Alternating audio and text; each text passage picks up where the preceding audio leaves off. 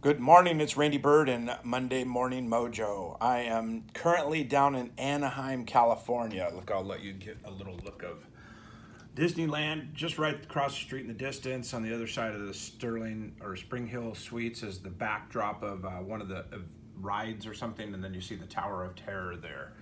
Anyway, listen, uh, just wanted to really talk about a message this morning that's powerful for me uh, walk in doing my morning routine this morning, getting a coffee and getting exercise and hit the gym a little bit, just trying to work out the shoulder and stuff and get back in a routine there. But uh, Monday Morning Mojo, I, I'm committed to it, and here it is. I'm going to drop it on you. But you cannot win the war against the world if you can't win the war against your mind.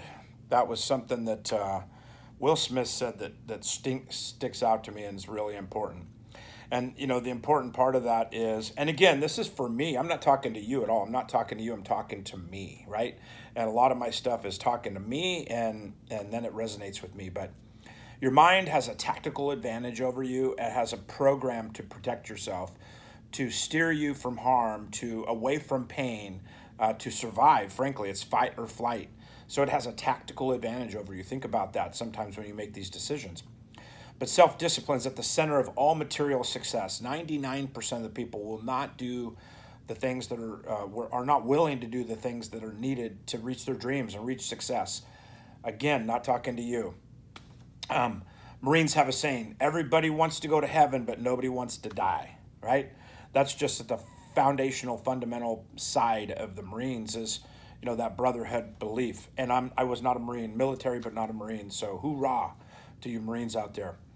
Um, something as simple as food, water, um, and your eating habits, you know. Um, it's not so much about your body as it is about your mind and about choosing the actions that are in the best interest of your mind. And so, you know, your mind is is one of the most powerful things on the planet, but yet we don't feed it. We don't give it water. We don't do the things, right? And I could easily change this to I don't feed it. I don't give it water. I don't do these things.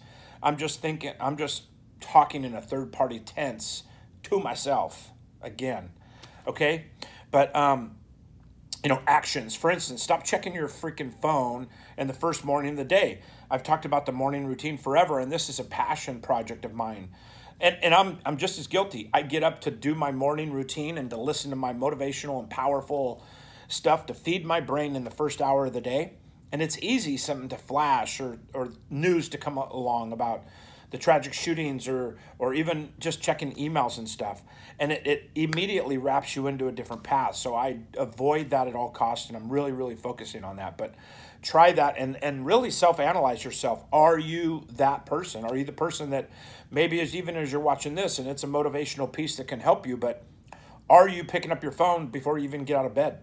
Are you making a habit to checking your phone before you even take care of yourself with the basic necessities, food and water, or even mental beliefs, right? Every day we're choosing shit that is not in our best interest. That's that's reality. That's a fact.